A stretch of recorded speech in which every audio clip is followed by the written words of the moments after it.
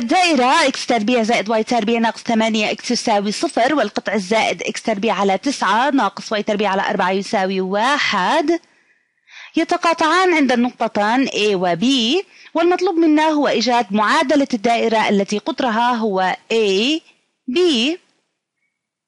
إذا دعونا نتخيل الدائرة والقطع الزائد.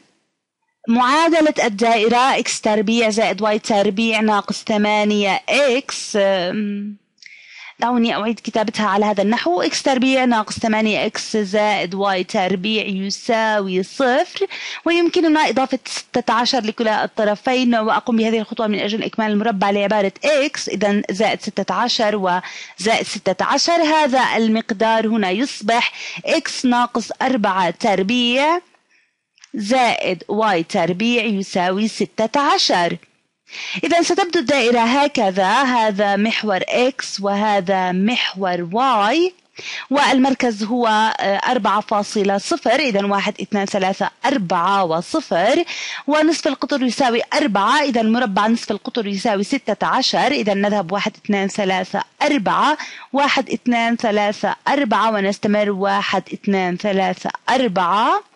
إذا جميع هذه النقاط هذه النقطة وهذه وتلك وهذه ستكون جميعها على الدائرة. دعوني أرسم بشكل أفضل هذه وهذه وهذه. إذا الدائرة ستبدو هكذا. آه، إن هذا الرسم ليس دقيق ولكن أعتقد أنكم فهمتم الفكرة العامة. آه، هذه هي الدائرة. ثم لدينا القطع الزائد x تربيع على 9 ناقص y تربيع على 4 يساوي 1 وسيكون مفتوحا لليسار واليمين ذلك لأن عبارة x فيه موجبة. سيبدو شيء كهذا. آه، دعوني أقوم بهذا. دعوني أقوم بإيجاد y فنحصل على آه، ناقص y تربيع على أربعة يساوي ناقص x تربيع على تسعة زائد واحد. وكل ما قمت به هو أنني طرحت x تربيع على تسعة من كلا الطرفين وسنضرب الطرفين بناقص أربعة فنحصل على y تربيع يساوي أربعة على تسعة x تربيع ناقص أربعة. وهذا سيكون الجزء الموجب لكني أقوم بهذا الحل حتى نفهم خطوط التقارب. Y تساوي الجذر التربيعي ل 4 على 9 x تربيع ناقص 4 كلما x تصبح قيمتها أكبر فأكبر. هذه العبارة هنا لن تعد ذات أهمية. عندما تقترب x من ما لا نهاية ستقترب هذه من الجذر التربيعي ل 4 على 9 x أه، تربيع. هذا المقدار لن يؤثر كثيرا وسيقترب من 2 على 3 x إذا كنت تتخيل الميل اثنان على ثلاثة نذهب ثلاثة ونرتفع وحدتين للأعلى. آه سيكون خط التقارب على هذا النحو سيقترب من هذا الخط ويماثله وسيقترب من هذا الخط آه هنا أيضا. وإذا أردنا أن نرى أين يتقاطع مع محور X نقول y تساوي صفر. Y تساوي صفر. ونحصل على x تربيع على 9 يساوي 1 إذا x تساوي زائد أو ناقص 3 إذا التقاطع الموجب سيكون هنا والجانب الأيمن من القطع الزائد سيبدو هكذا. وهذا يوحي لنا بشكل الجانب الأيسر والشيء المثير للاهتمام أن هذه الخطوة لا تفعل شيء. للدائرة والآن كما علمنا أن القطع الزائد والدائرة يتقاطعان عند النقطتين A و B. إذا هذه النقطة A وهذه B. في السؤال مطلوب منا أن نجد معادلة الدائرة التي قطرها A B. قطرها هو A B. A B. إذا نريد معادلة هذه الدائرة. وعلينا أن نجد أين يتقاطع هذا القطع الزائد مع الدائرة وأبسط طريقة للقيام بهذا أن لدينا قيدين. حل هنا. دعونا نجد قيمة y تربيع للدائرة ومن ثم يمكننا طرحها من y تربيع آه، هنا ونرى ما هي قيم x التي تتقاطع معها ونريد قيم x هنا. إذا شيء يشبه هذه القيمة. قيمة y ستكون قطر الدائرة. وقيمة x آه، آه، صفر ستكون المركز وبالتالي نحصل على المعادلة لنقوم بهذا. إذا في الأعلى هنا لدينا سأفعل هذا باللون الأصفر. إذا إذا طرحنا ناقص 8x و x تربيع من كلا الطرفين ستصبح معادلة الدائرة y تربيع تساوي سأضيف لكلا الطرفين 8x ثم أطرح x تربيع من كلا الطرفين. 8x ناقص x تربيع بالتالي أكون قد وضعت هذا وهذا في الجانب الأيمن من المعادلة. الآن أخذ هذا وأستبدله بواي تربيع في معادلة القطع الزائد ومعادلة القطع الزائد هي x تربيع على 9 ناقص y تربيع على 4 يساوي واحد. آه، وأن نضع قيمة y تربيع هنا في المعادلة أي أضع 8x ناقص x تربيع. ودعونا نرى إذا كان يمكننا حل هذا. حسنا آه، إنها معادلة تربيعية مباشرة. دعونا نقوم بتبسيط هذا. آه، x تربيع على تسعة ناقص اثنان x آه، زائد x تربيع على أربعة. لقد قمت بتوزيع ناقص واحد على هذه العبارات. فتساوي واحد. ودعونا نرى يمكننا أن نضرب كل شيء بمئة وست وثلاثون. إذا ست وثلاثون تقسيم تسعة يساوي أربعة. أربعة x تربيع ناقص هنا آه، آه، اثنان وسبعون x زائد آه، تسعة x تربيع يساوي ست وثلاثون. هاتان العبارتان يمكن جمعهما ونحصل على ثلاثة عشر x تربيع ناقص اثنان وسبعون x ثم نطرح ست وثلاثون من الطرفين. ناقص 36 يساوي الصفر إذا حصلنا على معادلة تربيعية مباشرة والآن يمكننا إيجاد المحاور. نجد الجذور لنستخدم الصيغة هنا. X تساوي ناقص b أي ناقص ناقص 72 ويساوي 72 زائد أو ناقص الجذر التربيعي ل 72 ضرب 72 ناقص 4 ضرب ثلاثة عشر ضرب ناقص ست وثلاثون. هذه ناقص ست وثلاثون نضع ست وثلاثون وتصبح هنا موجبة. كل هذا مقسوما على آه، اثنان ضرب ثلاثة عشر أي ست وعشرون. الجزء الأصعب هو تبسيط كل هذا حيث يكون لدينا مجموعة أشياء مثيرة للاهتمام. إذا دعوني آه، أعيد كتابة هذا الجزء.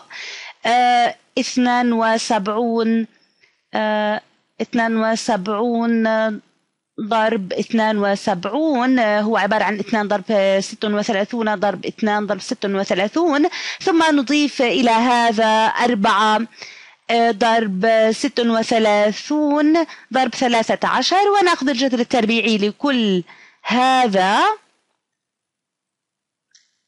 الآن يمكن أن نستخرج 4 ضرب 36 كعامل مشترك. هذه أربعة. وهذه ست وثلاثون. وهذا يساوي الجذر التربيعي لأربعة آه، آه، يساوي الجذر التربيعي لأربعة ضرب ست وثلاثون ونعلم أن أربعة ضرب ست وثلاثون يساوي مئة وأربع وأربعون. آه، إذا أربعة ضرب ست وثلاثون وهنا استخدمنا الاثنان هنا وهنا يتبقى لدينا ست وثلاثون وهنا استخدمنا أربعة ضرب ست وثلاثون فيتبقى زائد ثلاثة عشر فيصبح لدينا الجذر التربيعي لمئة وأربع وأربعون ضرب تسع وأربعون. آه، وهذه مربعات كاملة. ويساوي آه، هذا سيساوي اثنى عشر ضرب سبعة. أو هذا يساوي 84 آه، إذا هذا كله يمكن تبسيطه إلى 72 زائد أو ناقص 84 كل هذا على 26 آه، آه، وعندما نطرح 84 نحصل على شيء غير منطقي هنا ونريد أن تكون القيمة موجبة ل x إذا لنأخذ بالاعتبار 84 الموجبة ونرى على ماذا سنحصل. دعوني أقسم كل من البسط والمقام على آه، آه، أقسم كل من البسط والمقام على اثنان. فيكون الناتج 36 زائد 42 على 13 ويعادل 78 على 13 ويبدو أن 78 تقبل القسمة على 13 وتساوي 6 إذا قيمة إحداثي x هي 6 ولا زلنا لا نعلم قيمة إحداث y فلنقم بهذا. إنها سهلة الحل. نضع x تساوي 6 في أي من هذه المعادلات. هنا نحصل على y تربيع يساوي 48 48 ناقص 36 ويساوي 12 الجذر التربيعي آه، آه، ل 12 هو قيمة y ويمكننا تبسيط هذا الجذر إذا أردنا ذلك لكننا نعلم أن النقطة 6 فاصلة الجذر التربيعي آسفة. المركز هنا 6.0 لكن التقاطع الفعلي سيكون 6 فاصلة آه، موجب الجذر التربيعي ل 12 وهذا سيساوي ستة فاصلة سالب الجذر التربيعي ل 12 هذه النقطة 6.0 آه، هي مركز الدائرة. إذا ما معادلة الدائرة الجديدة؟ ونحن نعلم أن المركز هو 6.0 آه، دعوني أكتب هنا المركز 6.0 إذا آه، x ناقص 6 آه، تربيع زائد y ناقص 0 تربيع يساوي مربع نصف القطر. فما هو مربع نصف القطر؟ نصف القطر عبارة عن هذا الخط هنا أو يساوي نقطة التقاطع y وهي الجذر التربيعي ل 12 الآن هذه تساوي مربع نصف القطر إذا 12 إذا المعادلة x ناقص 6 تربيع سنرى أي شكل ستمثل. آه، x تربيع x تربيع ناقص 12 x زائد 36 زائد y تربيع يساوي 12 ويمكن أن نطرح 12 من الطرفين ناقص 12 ونحصل على x تربيع ناقص 12 x زائد 24 زائد y تربيع يساوي صفر. ولنرى أي من الخيارات يتطابق مع هذا. دعوني أنسخها ثم ألصقها هنا. سألصقها في الأعلى هنا. آه، ولدينا هنا x تربيع زائد y تربيع ناقص 12 x زائد 24 وهذا يشبه الإجابة. A آه، x تربيع زائد y تربيع ناقص 12 x زائد 24 نعم إجابتنا هي A.